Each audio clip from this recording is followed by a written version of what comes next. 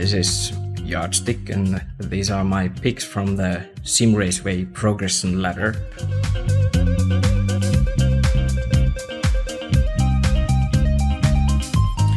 First car on my list is Mitsubishi Lancer Evolution X.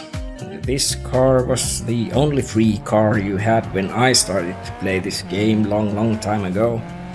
Everybody who has this game has driven it. Some like it and some don't, and I am one of those who mostly don't like it. It's all-wheel drive and thus relatively easy to handle, but it will punish you for every mistake you make on track. It takes some true skill and smooth driving to make any kind of good lap with it. If you have the patience, this car will teach you a lot. And there's always events available for this car. Simraceway Kart. This kart is a great fun to drive. Those who drive real life karts often complain about the brakes making the car too twitchy, so by all means turn on the ABS and lower the brake pressure so you don't lock the rear wheels that easily. But even with these minor problems, it's a great car that can teach you a lot about racecraft and racing lines and entry speeds.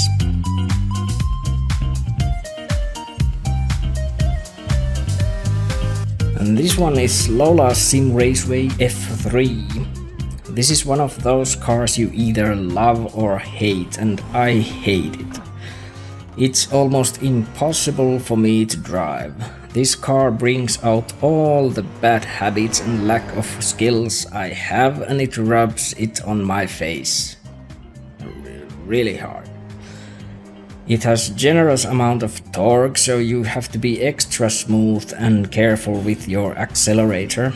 On the other hand, uh, this car goes very smoothly over the limit, so it gives you a good early warning before it tries to spin. Despite me hating it, this car can teach you a lot about pedal control in very short time and that's why I took it on the list.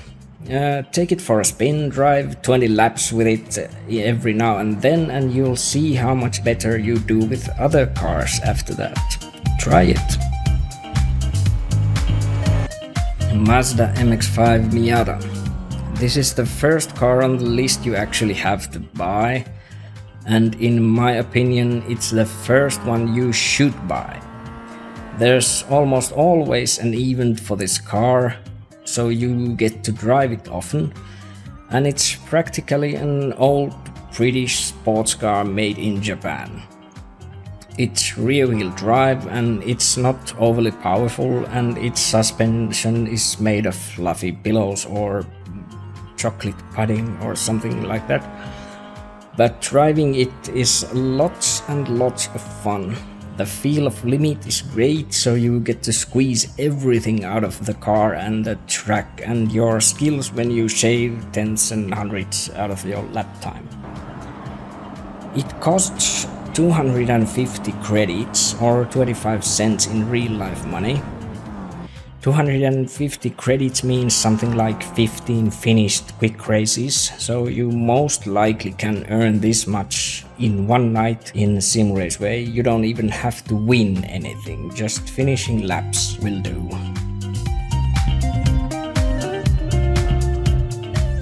Mini John Cooper Works this one is a good front-wheel drive companion to the Miata.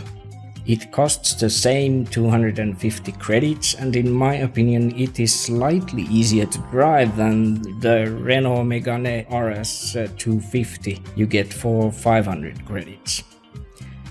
Uh, this could as well be the first car you buy in this game if you are more into front wheel drives.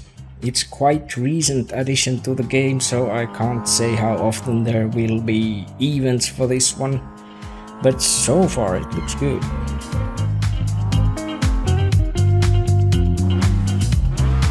Subaru Impreza WRX STI S206, goodness what a name. Four-wheel drive rally car. Many of these cars punish you for your mistakes, but this one is the one you get to punish back. I believe I have never managed to do a decent lap with this one because I just have to throw it around and drift with it and eventually crash. It's almost impossible to drive a lap without driving this car sideways around the corners laughing like a madman.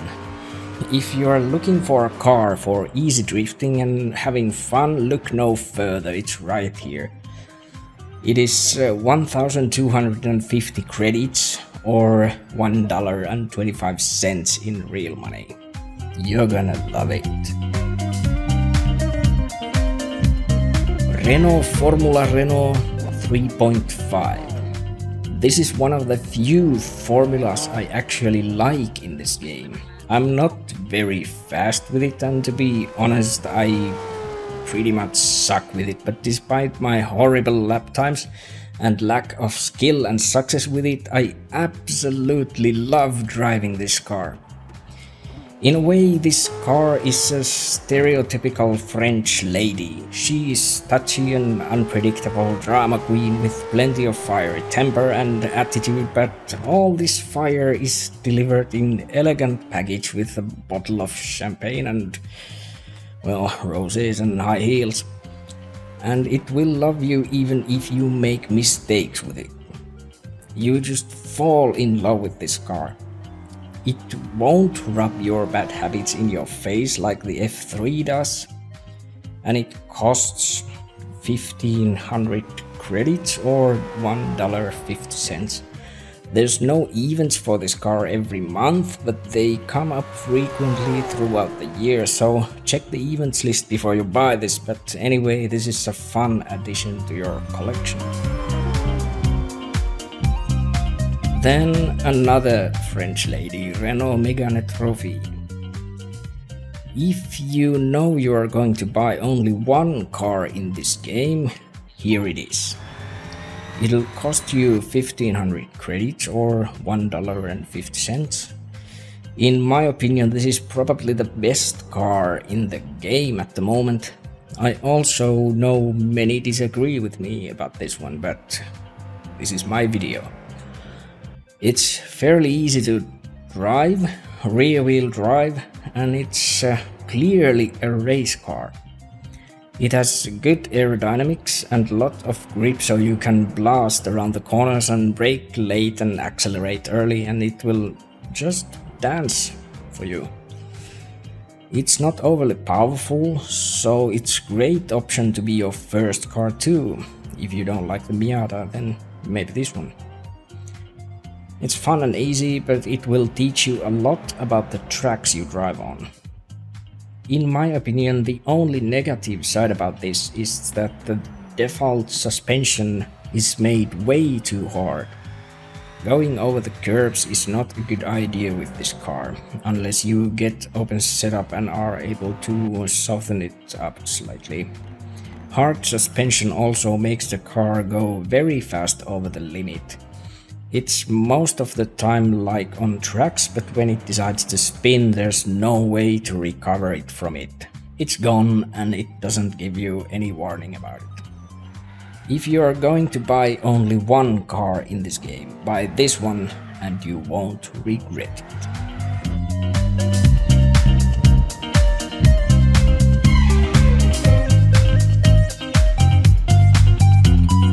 That's all for now folks. I am Yardstick and thanks for watching.